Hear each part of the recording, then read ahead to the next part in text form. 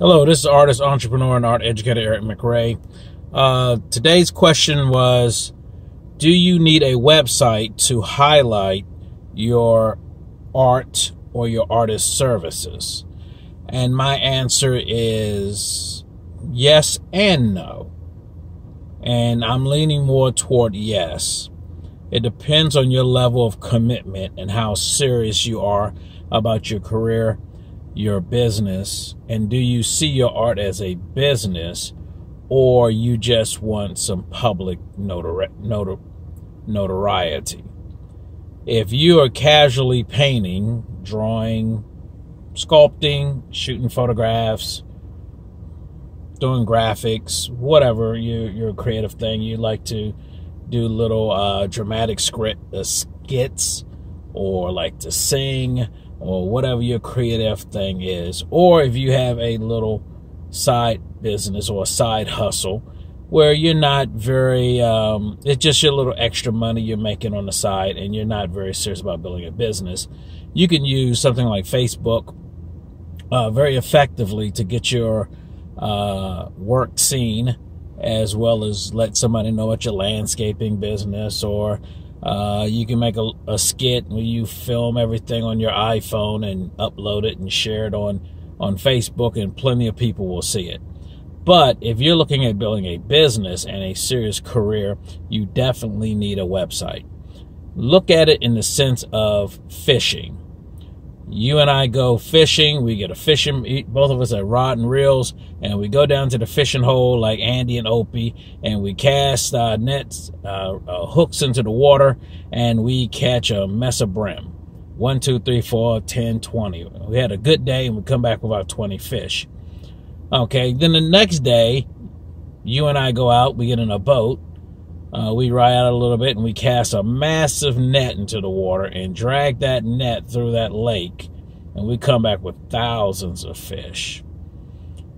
A website is just one strand or one line in that net.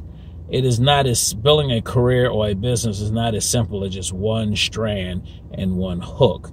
Yeah, you can have success, but the question is how big a success do you wish to be?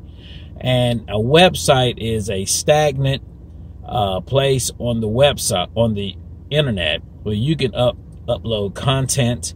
You can use that as a hub to feature all the products and services you provide as a professional. You have ultimate control over that. Tomorrow, Facebook, Instagram, YouTube, Twitter, TikTok, whatever Snapchat, whatever thing you're messing around on or having fun with or using pretty seriously could change tomorrow just like that, like a Thanos snap. Because the owners of that social media platform can make radical changes. Uh, now Facebook is pushing as well as Instagram is is buying ads and sponsorships because they want to make more money. Where before your organic reach was massive, you post something initially, everybody who was a friend of yours saw it. Then they streamlined it down to the people you encounter more often, and it's become even more narrow. So on Instagram, you don't have the same organic reach. Facebook, same not same organic reach. They want you to buy those ads to reach the same people used to reach free because it's a free service to you that you can utilize. So they need to make more money. Okay, so with your website, you own that website, you own that domain, and you can put content up there and use that as a hub to connect to all your social media platforms or online um, e-commerce sites like Etsy or eBay or Amazon or OfferUp or Letgo, whatever you're using on the internet to sell your product or service. So I would say yes, you need a website. And also, it's a big thing about credibility. In the old days, it's like, did you have a yellow pages ad or uh, a listing uh, where you're a serious business? If you weren't in the yellow pages, nobody took you seriously. And so, uh, when you're really doing business, you need to be a business person. And part of that, in my opinion, is having a website. Now, if you just want to, you know, do your thing casually and I painted this picture or I sang this song or I, I don't know, do pet grooming, whatever, you can upload that and show pictures on Facebook and you'll get some traction through Facebook Marketplace. But um, the, all those different things are part of the net. every every platform from Craigslist to Facebook, back around to LinkedIn, and to your own website are all part of building that massive net that you're going to use to build your business, to get attention, to engage customers. Even back in the old days when someone would run a newspaper ad, uh, they would do direct mailers, they would um, do have telemarketers calling people. So how you interact, because really in business is about engaging people. And if you don't have people engaged, you don't have customers, whether you're selling pizza or selling paintings, but you got to have people. So I would say yes to the website. Get a website. Hurry up. Um, so, matter of fact, I know a good guy who does websites.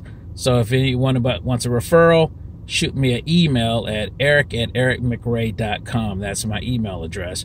Or you can send me a message on Facebook or wherever, and I can refer you to somebody really good who does websites. Okay, so, um, and this guy did my website. He's exquisite. So, um, get a website. Don't mess around. Don't take forever to get it done. Uh, make that a priority if you're serious about your business or your career. Um, okay, so follow me these videos on LinkedIn, uh, Facebook, and YouTube. Make sure you subscribe. Hit the subscribe button, the like buttons, all that good stuff, and let's keep in touch. And thanks for keep watching. Bye.